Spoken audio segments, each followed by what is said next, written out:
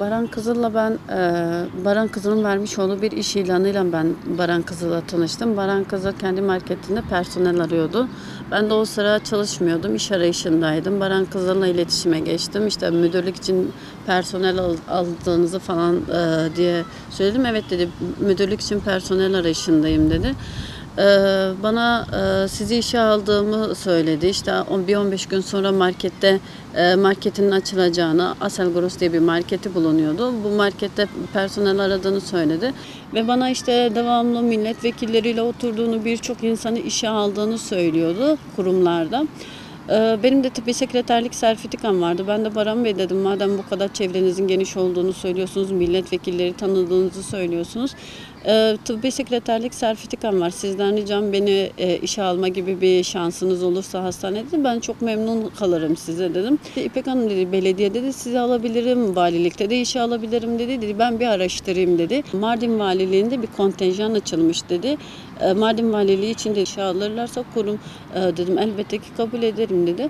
Dedim dedi tamam dedi. Ondan sonra bana dedi ki dedi Mardin Valiliğinin e, kaleminin yeğeni benim en yakın arkadaşımdır dedi. Ben onunla görüşmüşüm. Senin işin tamamdır dedi. Bu Mardin Valiliği için beni aradı. Senin işin tamamdır. Sen Mardin Valiliğinde şey olarak gireceksin işe. e, bilgi işlem olarak işe başlayacaksın ve kadrolu olacaksın dedi. Ve dedim ki bunlar bizden bir şey talep etmiyorlar. Valla dedi İpek dedi talep ediyorlar dedi.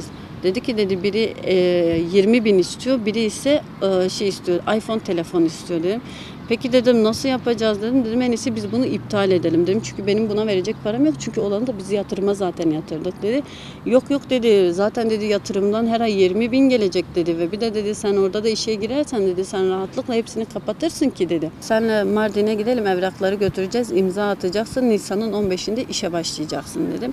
Ve bu adam otele gittiğinde bana dedi ki sen de benimle birlikte geleceksin. Otelde bana taciz etmeye kalktı. Ve sözde beni vidaya aldığını söyledi. Aracın içinde dediğim gibi beni dövdü, beni araçtan atmaya kalktı. Ondan sonra aracın içinde evrakları yüzüme vurdu. Sen diyor, diyor benimle baş edebileceğini mi sanıyorsun diyor. Bak diyor bu evrakları diyor ben bu dosyalarımı sildirtiyorum. Benim arkamda devlet var, benim arkamda MIT var diyor. Sen kime güveniyorsun? Sen kime güveniyorsun diyor. Senin aileni yok ederler diyor.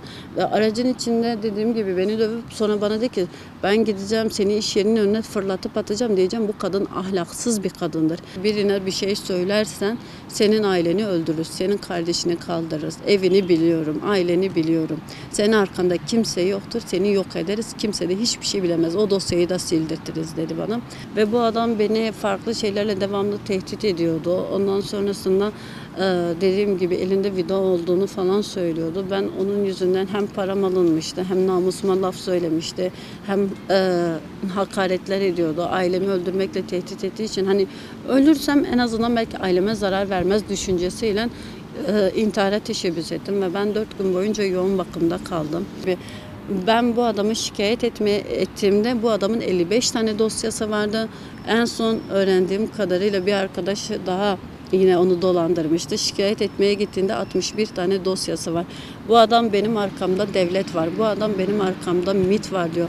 Bu adamın arkasının güçlü olduğunu söylüyor. Bu adamın 55 tane dosyası varken bu adam nasıl hapse girmiyor? Bu adamın 55 tane dosyası var. Şu an 61 tane dosyası var. Bu adam bütün insanları, çevreyi, çevredeki bütün halkı dolandırıyor, insanları dolandırıyor. Bu adam benim mağdur etti, bu adam benim namusuma laf söyledi. Ben diğer kadınlar gibi ölmek istemiyorum.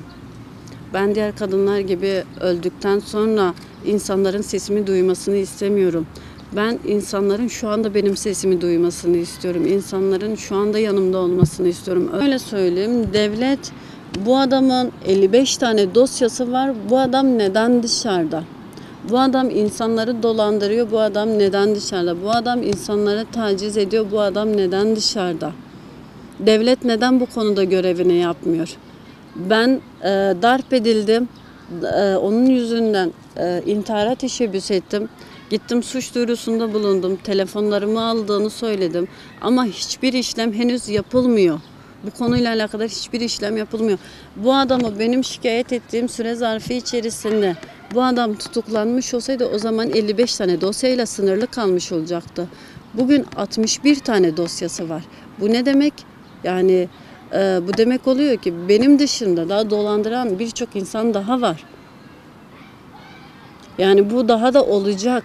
Devletin e, devlet toplumun huzurunu korumakla mükellef.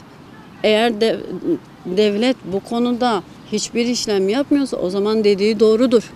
O zaman de, gerçekten devlet arkasında var. Ben öyle düşünüyorum. Bu adam evrakları yüzme ya şaşırıyorum bazen ya evraklarımı yüzüme vurdu dedi ki devlet benim evraklarımı siliyor. Kimse benimle baş edemiyor. Bana bunu söyledi. Ve demek ki dosyaları siliniyor ki bu adam dışarıda. Bu adamın 55 tane dosyası var. Neden neden içeride değil? Bu adam beni darp etti. Neden içeride değil? Bu adam beni dolandırdı. Neden içeride değil? Ses kayıtlarım mevcut. Evet e, bu adam bana taciz etti. Tacizin bir kanıtı yoktur. Tacizin bir kanıtı yoktu. Ben size nereden getireyim? Ama adam bana etti taciz. Baran Kızıl'ın tutuklanmasını istiyorum ve benim gibi mağdur edilen insanların mağduriyetinin giderilmesini istiyorum. Çünkü Baran Kızıl insanları dolandırıp parayı hani aldığı paraları kendi üzerine değil babasının üzerine yatırıyor babasının adına bir işlemler yapıyor veya kız kardeşi üzerine işlem yapıyor. Bu yüzden bu konuda dediğim gibi benim gibi ben ve benim gibi mağdur edilen insanların mağduriyetinin giderilmesini istiyorum bu konuda ve Baran Kızıl'ın tutuklanmasını istiyorum.